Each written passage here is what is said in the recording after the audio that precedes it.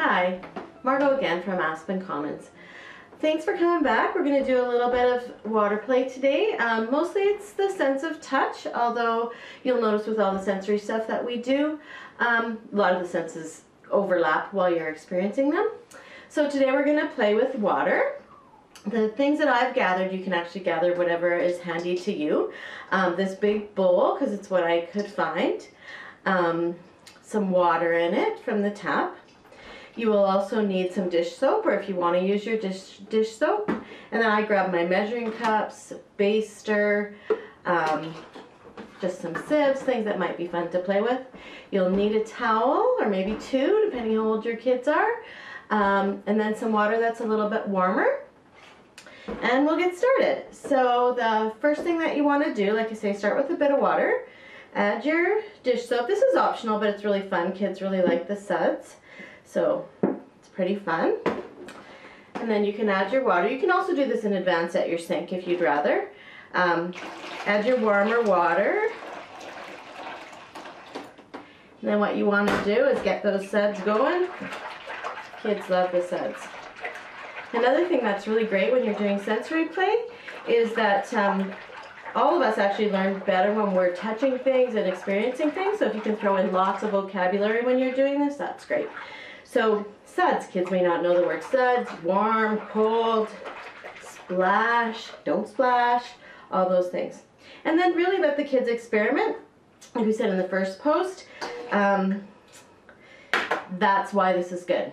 They just get to try things. So may, they may not have ever tried your turkey baster.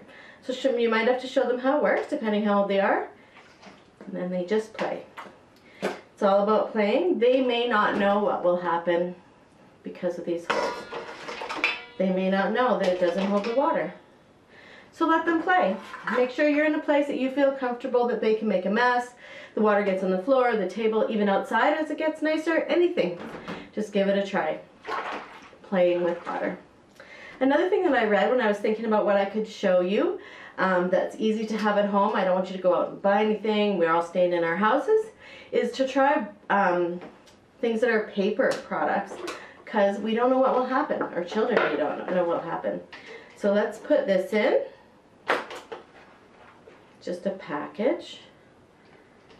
Kids will love this because they usually don't get to play with these kind of things. And they can just see what happens. You can talk about the word soggy, squishy. Then you can try other kinds of paper too, because they'll behave differently. Most adults know that, but some little two, three-year-olds, they may not. What's going to happen to this paper towel? It's probably going to be able to be torn right apart. So you could try lots of different things. Whatever's whatever's fun for you and your kids and what's easy. This could keep them, it's so warm, it could keep them happy and um, learning, experimenting for a really long time. You also might have some bath toys or other plastic toys, um, cars, anything you feel comfortable with them playing with as long as it's safe. So we're going to stay away from glass or sharp edges, that kind of thing.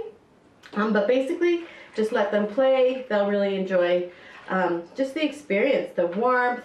As I say, the sensory play helps to build their little brains, the suds, and then there is a little bit of a smell from the dish soap, all those kind of things.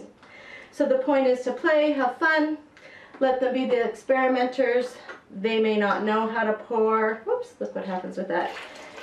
They might like to do this. I've seen so many children just like to go back and forth. It's really soothing. It's really fun. They see the drips. They learn about sizes, so if they use a little one and a big one, they might start to learn how much water doesn't fit all that kind of stuff. So it's really just about playing, having fun, enjoying your kids. I also pulled out this really big bin. If you have three kids, the bigger the better. You just have a smaller bowl than this, set them up and let them play. So that's the sense of touch, a little bit of fun, a little bit of experimentation. Um, yeah, we'll see you next time. Thanks.